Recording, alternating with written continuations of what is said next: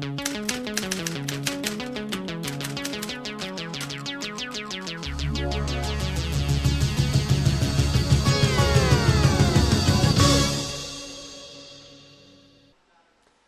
Buonasera, il nostro TRG Plus ci porta ancora una volta a parlare di sanità perché prosegue il viaggio di TRG nella sanità dell'Alta Umbria. La tappa questa sera è all'ospedale di Branca per parlare di urologia, un servizio istituito dieci anni fa all'incirca che ha fatto grandi passi avanti.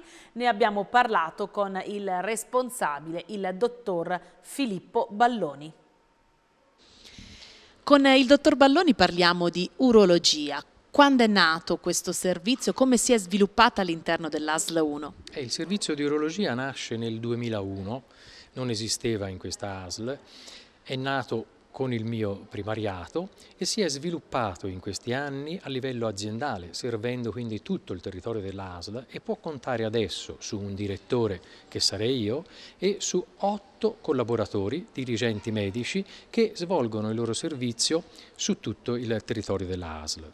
Ecco, com'è strutturato proprio questo servizio? L'ASL ha eh, il presidio ospedaliero di Città di Castello, quello di Branca ed un altro ad Umbertide. Il servizio di urologia come utilizza questi presidi?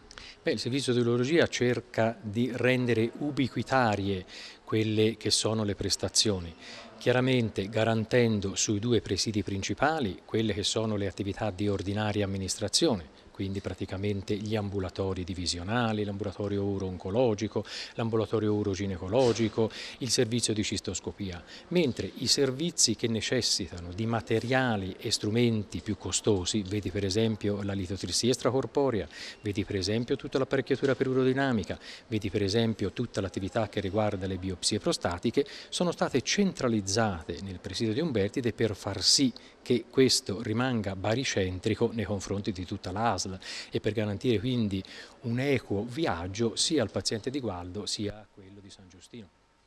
Come siamo messi con tempi di attesa, che in genere è sempre uno degli argomenti a volte complessi all'interno delle ASL? Per l'urologia come siamo organizzati? Grazie al cielo, eh, facendo un attento monitoraggio con i medici di medicina generale, noi rientriamo perfettamente in quelli che sono i tempi stabiliti dai RAO, cioè vuol dire da questo sistema di monitoraggio dei tempi d'attesa, quindi non ci possiamo lamentare. Parliamo di tecnologia. Questo servizio si avvale di un'alta tecnologia e forse anche in questo una sfida in parte vinta ma anche da vincere. Beh, questo è un argomento abbastanza doloroso perché la tecnologia eh, prevede eh, degli investimenti a volte anche onerosi e sappiamo i tempi che corrono con queste spending review.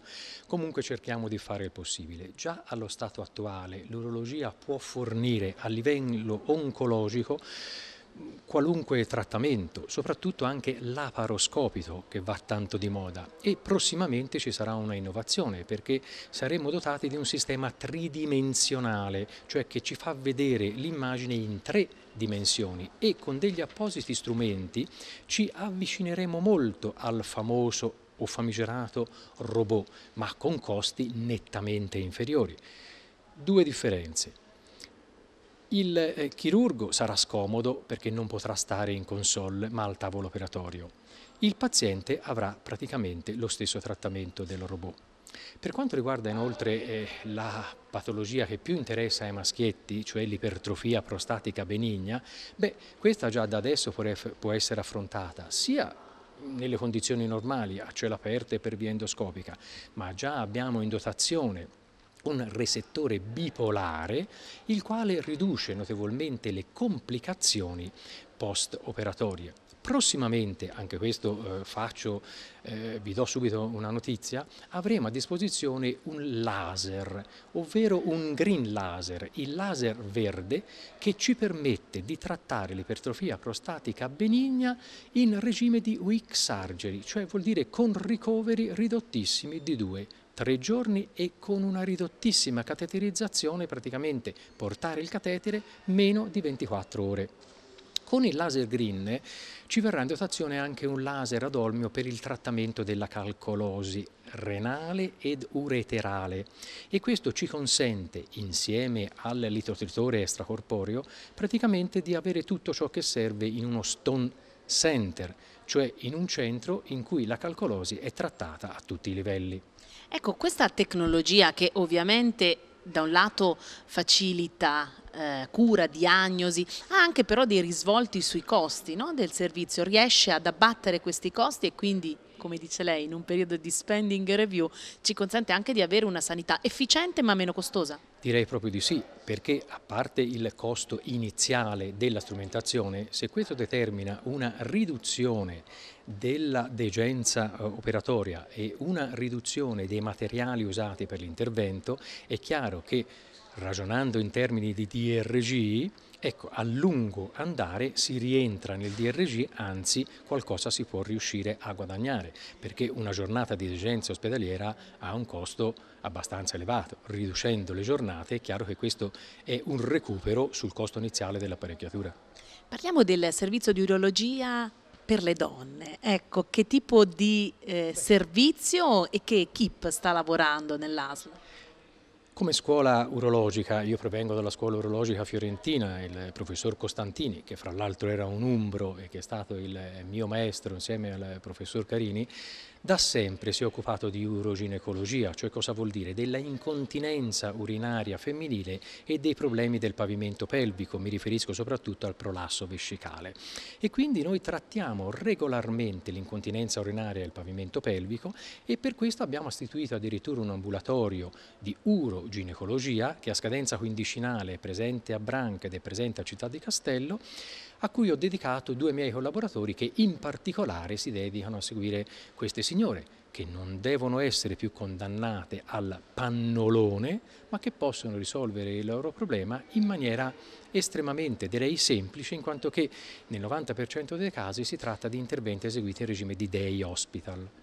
E quindi anche qui un impatto piccolo. Esatto, e quindi un impatto meno pesante su quello che è la gestione della degenza post-operatoria. Lei ormai ha sviluppato un, una larga esperienza in questa ASL, no? da anni ormai collabora qui. Ecco, cosa si sente di dire sul servizio che lei dirige? Com'è questa urologia e soprattutto ai pazienti di questo territorio, che cosa diciamo? Beh, eh, mi sento di dire che eh, dal non aver trovato assolutamente niente abbiamo sviluppato un'urologia vera.